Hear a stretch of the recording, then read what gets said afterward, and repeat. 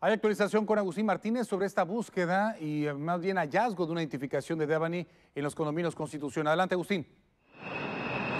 Así es, Josué, te saludo nuevamente con mucho gusto y mientras continúa la investigación de campo por parte de las autoridades ministeriales, vamos a presentar el documento que fue localizado esta mañana aquí afuera de uno de los departamentos del edificio 18 de los condominios Constitución, aquí sobre, o a un costado más bien de la lateral de la avenida, de la avenida Constitución.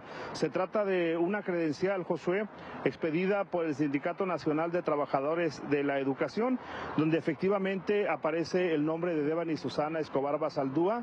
Esta, esta credencial fue expedida en abril de 2021 y tenía una vigencia a agosto del mismo año. Bueno, pues aquí aparece la fotografía de la joven de 18 años que fue encontrada sin vida el pasado 21 de abril y bueno, pues eh, continúa la investigación en el lugar. Pudiéramos imaginarnos que después de que se, recolectó el indicio o este, este elemento de, como parte de la investigación, pues los elementos simplemente se retirarían. Sin embargo, aquí continúan.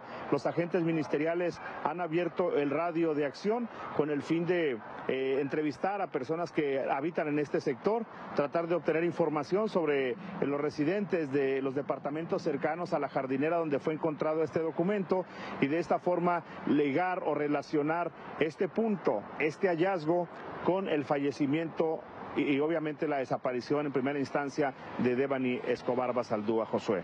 Es importante lo que diga la autoridad en torno a este hallazgo y estaremos atentos entonces en cualquier momento. Gracias, Agustín. Hasta pronto, buenos días. Buen día. Hacemos una pausa, regresamos.